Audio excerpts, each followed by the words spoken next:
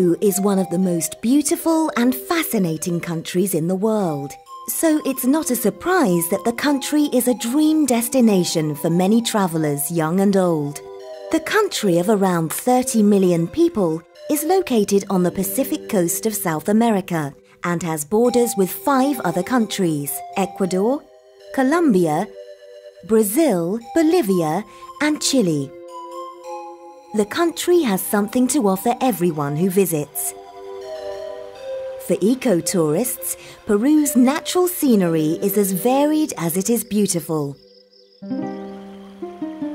Without leaving the country, you can travel from the beach to the desert and from the soaring Andes mountains to the depths of the Amazonian rainforest. You can experience trekking through the wilderness and encountering stunning wildlife. And it's not just the natural environment that is extraordinary in Peru. Cultural tourists will enjoy the vibrant modern cities like Lima. In old cities like Cusco, you can learn more about the ancient Inca culture of Peru in fascinating museums and palaces.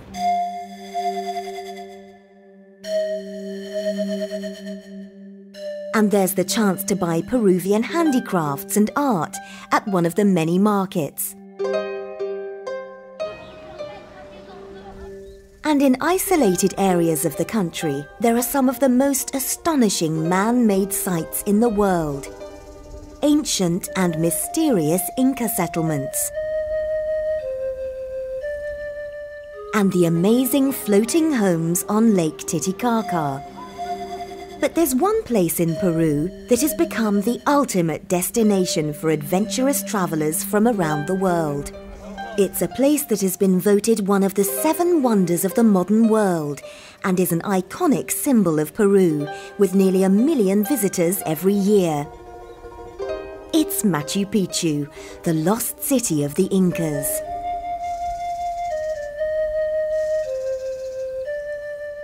Machu Picchu is located at 2,430 metres above sea level, in the mountains about 80 kilometres from the ancient Inca capital of Cusco. In July 2011, Machu Picchu celebrated the 100th anniversary of its rediscovery by an American explorer called Hiram Bingham, who worked at Yale University. While Bingham's discovery brought the hidden site to the attention of the world, the mysterious origins of Machu Picchu stretch much further back into history.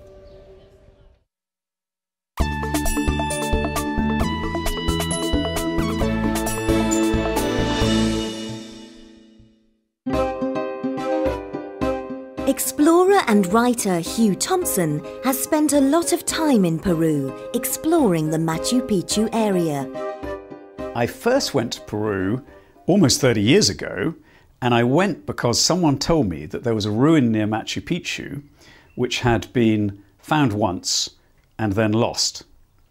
And it was such a strange story, this idea of a mislaid ruin, that I thought I'd go and try and find it again with a group of friends. So I went off on my first expedition.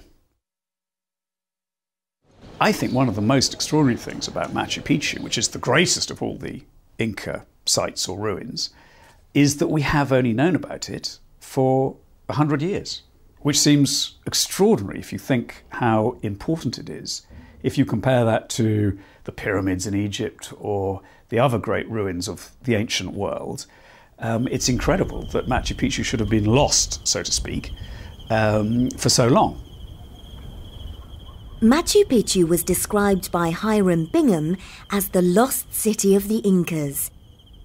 And we still know very little about this amazing place.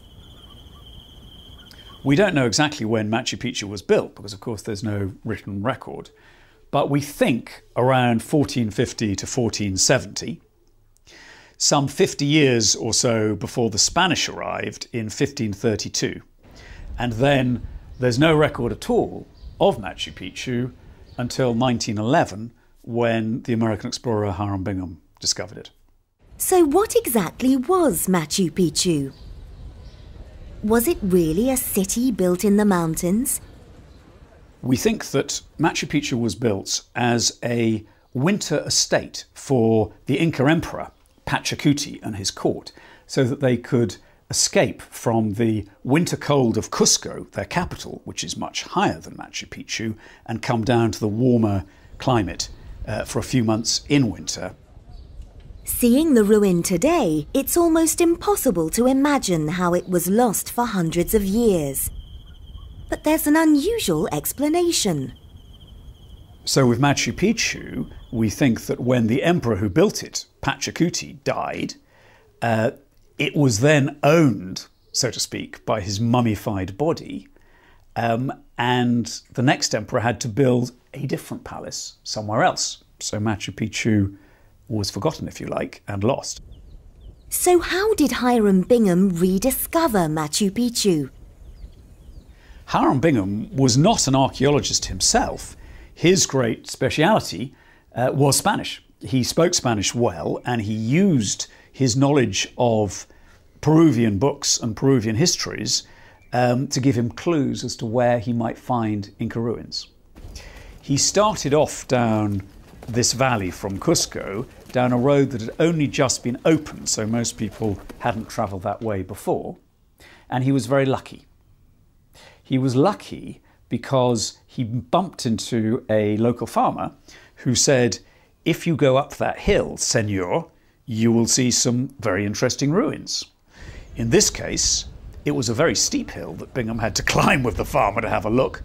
None of the rest of his expedition believed the farmer or went with him, so Bingham went up on his own and discovered Machu Picchu. Bingham returned to the site the following year. He explored the area and took many photographs that were published in newspapers and magazines around the world. Hiram Bingham wrote a great deal about Machu Picchu, but his most famous book is called Lost City of the Incas, and it's probably the one most people have heard of, and that phrase has almost entered the language. And he used the book to paint a very romantic picture of Machu Picchu, and maybe that's why so many people still want to go there today.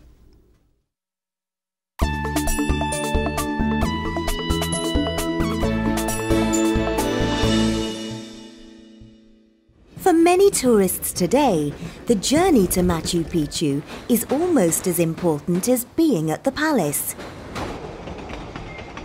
If you want to visit Machu Picchu today, you can either go the easy way, which is to take a train and then a bus up to the ruins, or you can do what the Incas themselves would have done, which is to take the Inca Trail.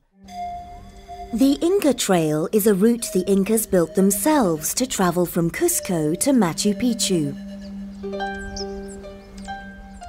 The amazing high altitude track takes four or five days for the modern visitor to walk.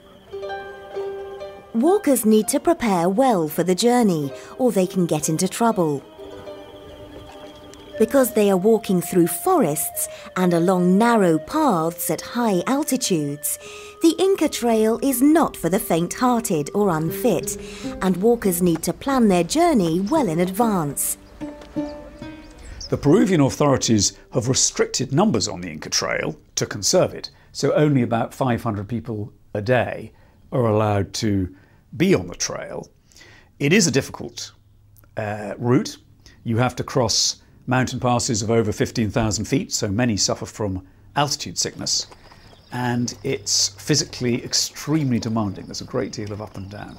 So, what advice would Hugh give walkers? The advice I'd give anyone who's considering walking the Inca Trail is that obviously you need to be fit. It's a tough route, but also you need to acclimatize to the altitude. You need to get used to the altitude for quite a few days before you begin the trail itself. The good news about doing the Inca Trail is that you usually have porters who are carrying all the heavy stuff for you, so that you yourself might just be carrying a small day pack. Uh, and you'll have a camp in the evening. It's often very comfortable and often very, very good food. While Machu Picchu is an amazing place to visit, for Peruvians it is much more than a tourist attraction.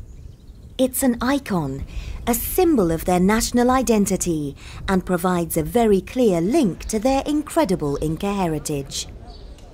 I think one of the reasons that so many people want to visit Machu Picchu, I mean, along with the pyramids, it's one of those must see destinations, is that um, Machu Picchu, you feel when you go there that you're touching a completely different culture, a different way of thinking, a different way of life, one that's still quite mysterious, of course, and one that we don't fully understand.